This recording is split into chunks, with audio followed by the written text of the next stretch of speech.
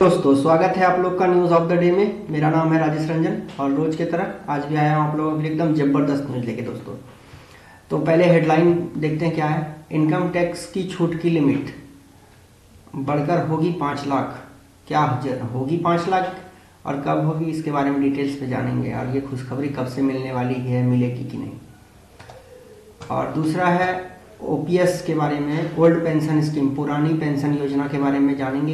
एक ने, नेताजी हैं हमारे उन्होंने क्या बयान दिया है इस पर ठीक से जानेंगे। और आपका राय भी आप बता सकते हैं कमेंट बॉक्स में। और एक मोबाइल फ़ोन लेके आया हूँ इसके बारे में डिटेल्स जानेंगे। और आखिर में टीम इंडिया से जुड़ा हुआ न्यूज़ है रोहित शर्मा से इनके बारे में भी थोड़ा सा जानेंगे।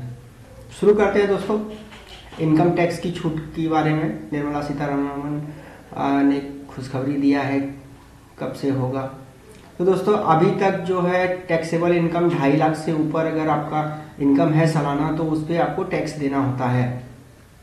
अगर आपको पाँच लाख तक टैक्स बचाना है तो सेक्शन 87 ए के तहत छूट दी गई है। इसमें थोड़ा सा पेज है, जो कि सबको नहीं मिल पाता है।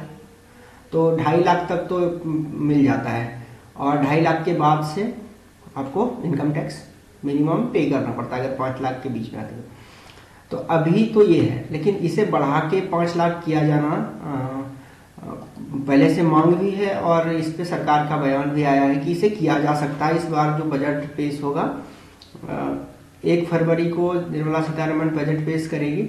इसमें आपको इस, ढाई लाख से पाँच लाख रुपए किया जा सकता है। तो दोस्तों, ये खुशखबरी है।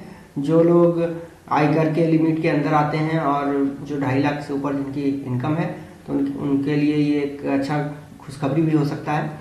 तो आप इंतज़ार कीजिए एक फरवरी तक का। एक फरवरी 2023 का होगा ऐलान। आप देख सकते हैं इसमें क्लियर लिखा हुआ है पाँच लाख रुपए करना चाह चाहिए। तो ये हो सकता है दोस्तों। तो ये खुशखबरी है उन लोगों के लिए जो इनकम टैक्स के दायरे में आते हैं या फिर जो आने वाले हैं आने वाले समय में। तो उनका थोड़ा सा राहत हो सकता है कि आपको पाँच लाख तक के इनकम पे टैक्स ना देना पड़े सरकार को। और आप टैक्स फ्री होके और ऐसे मतलब आप अगर चाहे तो रिटर्न भी फ़ाइल ना करें। वैसे तो आ, मेरा एक सलाह होगा कि जो टैक्सेबल इनकम के अंदर नहीं भी आते हैं वो भी रिटर्न फ़ाइल करें। काफ़ी चीज़ों में काम आता है। तो चलते हैं दोस्तों अगले न्यूज़ पे। ये वाली खुशखबरी को यहीं पे छोड़ के आगे बढ़ते हैं। देखते हैं ये खुशखबरी मिलती है कब। और जब मिलेगी दोस्तों तो मैं ज़रूर बताऊँगा। आगे है ओपीएस ओल्ड पेंशन स्कीम पुरानी पेंशन योजना। इस नेता का बड़ा बयान, भूत को मत जगाइए वरना कुछ नहीं बचेगा। तो ये कौन है नेताजी? इनके बारे में जानते हैं। सुशील मोदी हैं ये। सरकारी कर्मचारी के तरफ़ से लगातार पुरानी पेंशन योजना को बहाल करने की मांग की जा रही है। कुछ राज्य ने इसे बहाल कर दिया है। जैसे झारखंड, उत्तराखंड और ये राजस्थान, इन सबने कोशिश किया है। अब देखिए ये कितना दिन, ये कितना आगे बढ़ पाते हैं। भविष्य की पीढ़ी पर बोझ डालना बहुत गलत। सुशील मोदी ने कहा है कि भविष्य की आने वाली पीढ़ी पर बोझ डालना गलत है, पेंशन से बोझ डलता है। तो कहीं ना कहीं ये बात सही है, पर उन कर्मचारियों का क्या जो ज़िंदगी भर सरकार की नौकरी करते हैं, और फिर जब बुढ़ापा आता है उनका तो उन्हें पेंशन का ही सहारा रहता है। तो ये बहुत पेचीदा प्रश्न है, क्योंकि इसमें कुछ नहीं कहा जा सकता कि ये सही है या गलत। सरकार को इस पर ढंग से सोचना चाहिए। और मुझे लगता है कि सरकारी ही क्यों? प्राइवेट जो काम करते हैं, उनके लिए भी पेंशन की व्यवस्था होनी चाहिए। उनके लिए भी एक अच्छा स्कीम बनाया जाना चाहिए। है, पर उतना इफ़ेक्टिव नहीं है वो। इस साल हुई बाहर हुई व्यवस्था।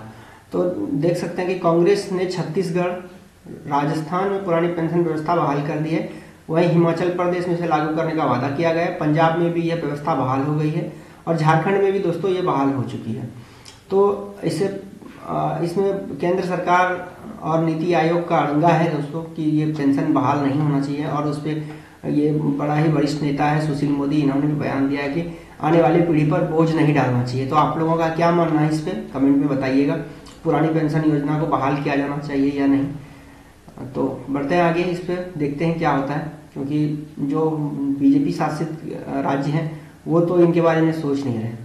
लेकिन जो विपक्ष में बैठे हैं, आज वो उनको याद आ आई है कि पुरानी पेंशन बहाल होनी चाहिए।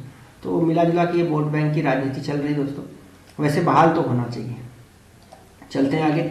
अगला न्यूज़ है, ठंड में गर्मी पैदा करने आ गया वीवो का सस्ता स्मार्टफ़ोन तो दोस्तों स्मार्टफ़ोन देख ही रहे हैं कितना ज़बरदस्त 5G का है और ये कितना एकदम स्लिक मोबाइल है और देखने में बहुत सुंदर है।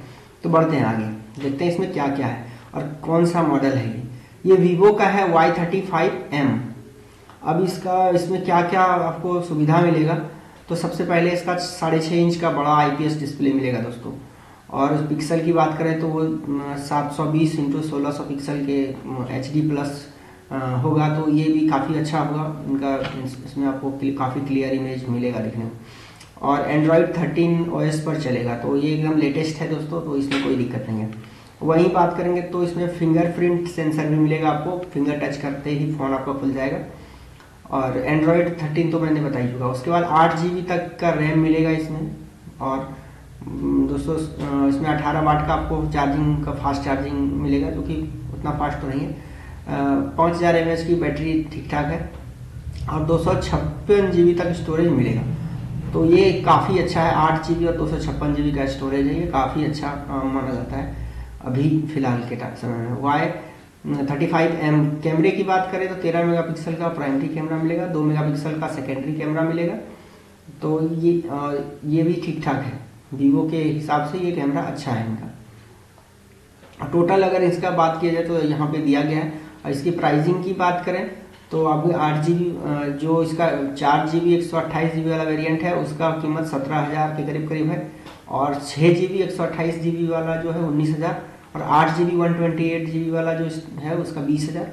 तो आप जोन से वेरिएंट में चाहें, वो ले सकते हैं। इसको स्क्रीनशॉट भी कर सकते हैं, ज़्यादा जानकारी के लिए। तो दोस्तों, बढ़ते हैं आगे। अगर ये फ़ोन अच्छा लगता हो तो आप मुझे मैसेज ज़रूर कीजिएगा। आपको कोई भी न्यूज़ पसंद आता हो तो। और आखिर में दोस्तों, रोहित शर्मा का कप्तानी छीनने वाला है, ऐसा कहा जा रहा है मीडिया रिपोर्ट में।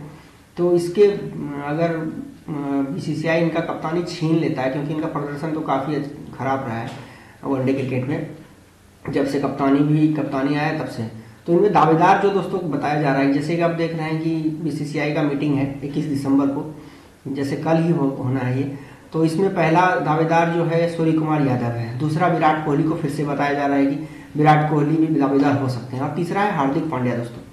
तो आप लोग को इनमें तीनों में कौन सा पसंद है आप बताइए। मुझे सबसे इफ़ेक्टिव इसमें सूर्य कुमार यादव लगते हैं। क्योंकि विराट कोहली मुझे नहीं लगता दोबारा कप्तानी करेंगे। वैसे तो विराट कोहली सबसे परफेक्ट है, पर विराट कोहली अब कप्तानी करेंगे नहीं और करना भी चाहिए सूर्य कुमार यादव, ये एक बेहतरीन बल्लेबाज भी हैं और ये इनकी टीम में अच्छी खासी जगह है। और मैं पांड्या का इसलिए बात नहीं कर रहा हूँ दोस्तों कि ये बॉली बॉलर ऑलराउंडर है तो इनका क्या ये चोटिल रहते हैं काफ़ी? जब ये चोटिल रहते हैं तो टीम में कप्तान नहीं खेलेंगे तो वो भी ठीक नहीं। तो सूर्य कुमार यादव मेरा बेस्ट ऑप्शन है। और ये ज़बरदस्त खिलाड़ी है दोस्तों, इनको ये सम्मान मिलना ही चाहिए। तो आपका क्या राय है इस बारे में ज़रूर कमेंट बॉक्स में बताइए। दोस्तों, मिलते हैं कल की वीडियो में। नमस्कार। अगर चैनल पे नए हैं तो सब्सक्राइब ज़रूर कर लीजिए दोस्तों, और फेसबुक पे देख रहे हैं तो फॉलो का बटन दबाइए। मिलते हैं कल के वीडियो में। नमस्कार।